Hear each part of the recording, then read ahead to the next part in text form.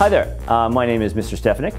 I teach English and Geography grade 12 here at Bodwell. My favorite part about teaching is kind of the kids. I'm not a morning person, so I get out of bed, I fall out of bed, get ready, come to school, kind of grumpy, but then as soon as I see the kids, I'm immediately in a, in a, great mood. I get energized by interacting with the kids throughout the day, and it keeps me going all day long. I like teaching because it's fun.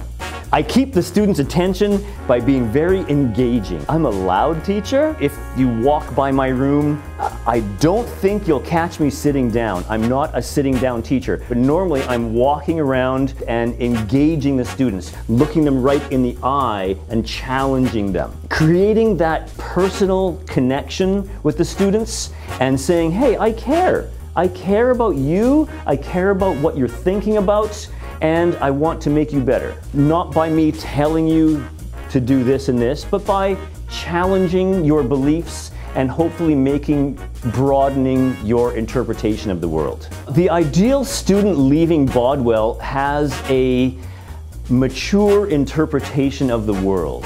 They've been given the tools, they know what they need to do to succeed, and they have the knowledge to use that power correctly. With great power comes great responsibility. And yeah, we are educating some very important people. And so I want to have them make very important, good decisions in the future.